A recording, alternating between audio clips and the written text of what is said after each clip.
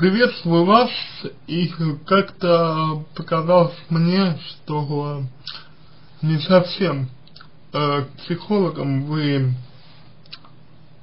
обратились правильно, задавая свой вопрос. Дело в том, что э, запрос, как укрепить веру, это по большому счету запрос не к психологу, а вопрос это по большому счету к священнику, который является тоже своего рода психологом, но только ориентированным в большей степени на э, религию, э, способен был бы вам э, с учетом вот теологических знаний э, предоставить всю информацию относительно того, как вас можно укрепить веру э, в контексте той религии, э, к которой вы относитесь. Психологи же э, обычно при, э, значит, предпочитают конкретизировать сам вопрос, то есть как укрепить веру во что. И психология, являясь наукой, не, под, не подразумевает того факта, что а, имеет какое-то вот практическое значение вера в э, некое божественное, в нечто божественное. Потому что, опять же, с точки зрения психологии, если э, человек верит в нечто божественное, то он как бы э, через веру снимает э, часть ответственности себя, оправдывая и свои какие-то ошибки э, с, с помощью веры, и с другой стороны, э, значит, э, обесценивая свои достижения, опять же, с помощью веры. И данный подход не является э, чем-то правильным с точки зрения, опять же, психологии как науки. Естественно, я не могу знать э, веру во что именно вы хотите укрепить, потому что свой вопрос вы задали очень кратко. Поэтому отталкиваться в своем ответе я буду на психологическое знание и не на привязку э, вашего вопроса к какой-либо религии. То есть, по большому счету, это не важно. Это не важно. Значит, что такое вера вообще? Вера – это убеждение, что определенная система ценностей, будь то христианская, будь то мусульманская, будь то какая-нибудь еще, определенная система ценностей очень полно, четко регулирует человеческое поведение. И отношения значит, между людьми. И, соответственно, вера а, теряется тогда, когда человек перестает, во-первых, видеть проявление этих ценностей а, в том, что с ним происходит, вот конкретно с ним. И, во-вторых, а, когда а, данная система ценностей перестает, по сути дела, давать ответы на вопросы.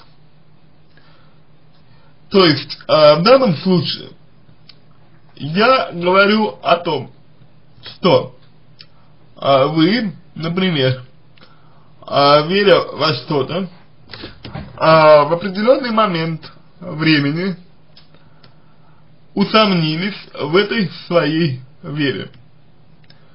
Ну, это, э, опять же, нормально. это нормально совершенно, потому, потому что, ну, для человека, э, скажем так, э, сомневаться иногда, сомневаться в вере, это абсолютно естественное состояние.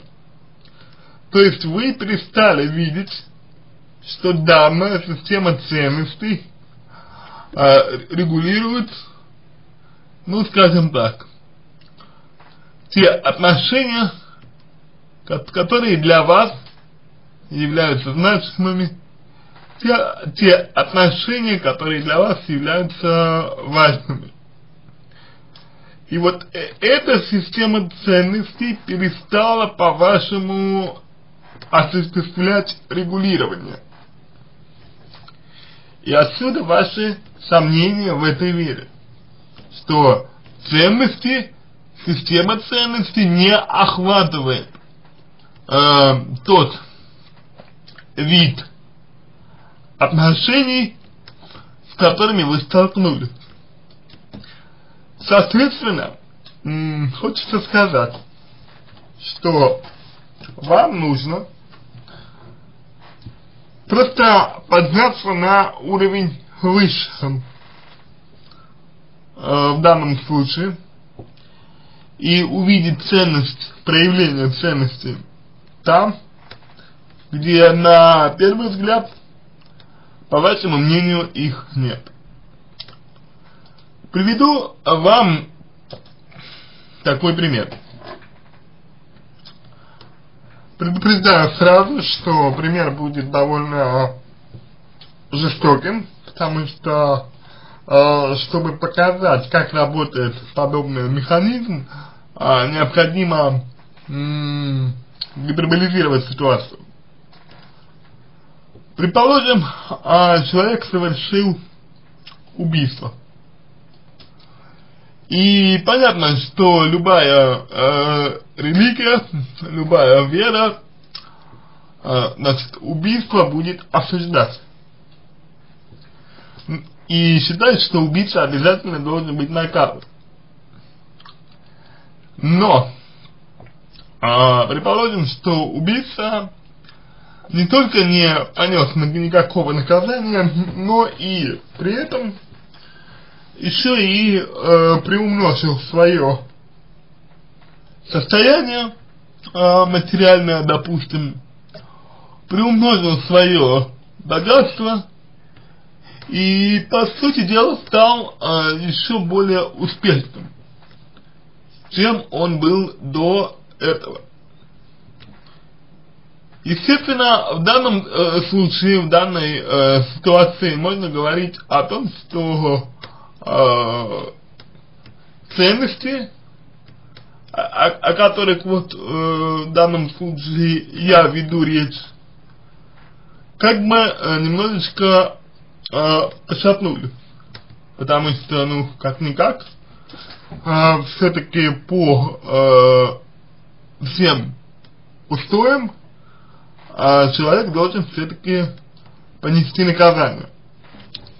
Но, Никакого наказания по факту человек не понес, и в результате вы видите, что, в общем-то, все хорошо, и что, э, как бы, человек вообще живет припеваючи.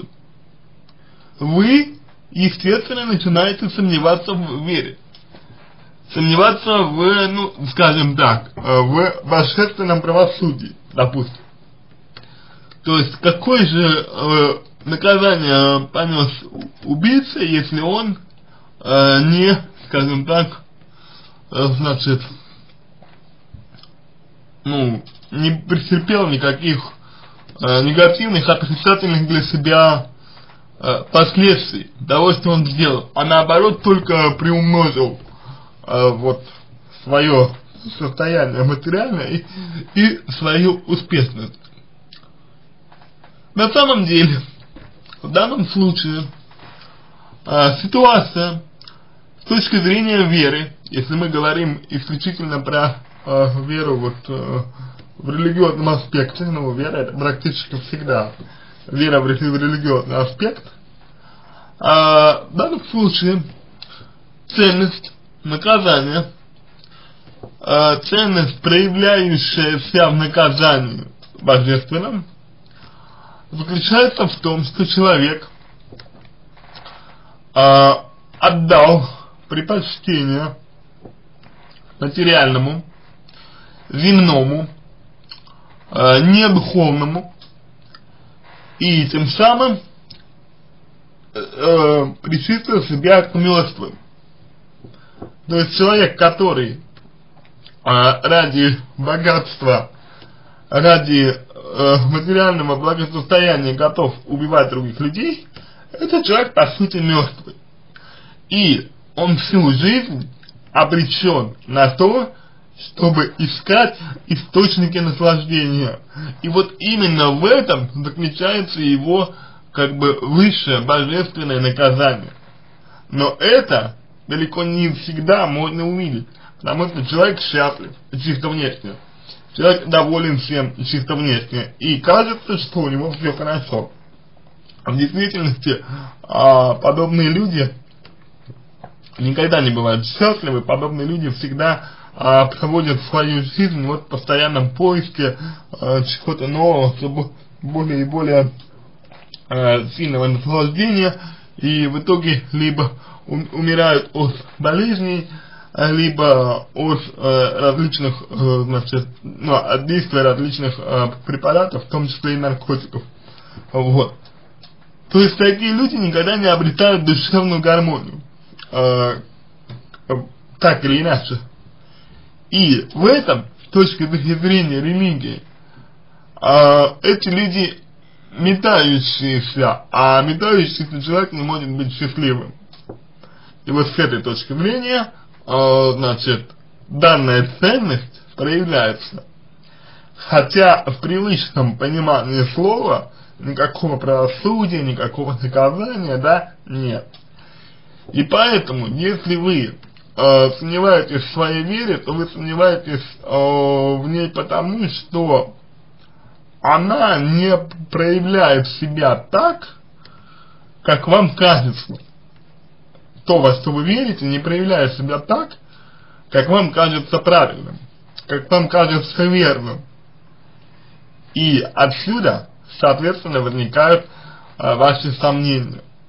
Если вы э, перестанете ориентироваться в, свое, э, в своем отношении, в своих взглядах на э, вот как раз э, свои представления о том, как э, вера должна себя проявлять, и как то, во что вы верите, должно себя проявлять.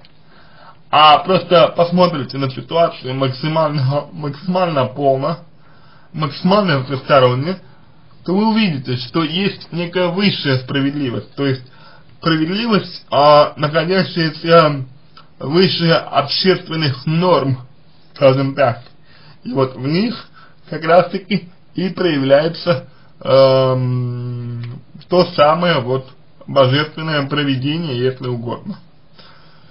Если вы говорите э, э, про веру, веру в себя, более близкую для психологии, то для того, чтобы верить в себя, нужно, во-первых, э, стараться стремиться к единству ваших ценностей, именно ваших ценностей, и поведения, ориентированного на эти ценности.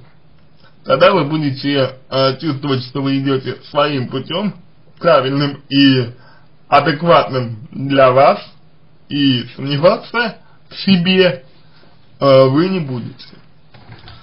Вот а, такой небольшой ответ на ваш вопрос, э, значит, на тему того, как укрепить свою веру. Вопрос, э, есть вопрос был задан э, довольно общим, и, и был задан общим, и, соответственно, ответ на него также был дан достаточно общий. Если вам э, понадобится поговорить об этом более детально, то э, выбирайте эксперта и э, прорабатывайте с ним те вопросы, которые у вас остались.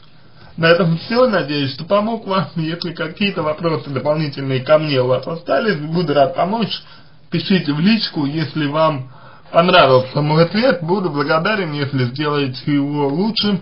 Желаю вам всего самого доброго и удачи.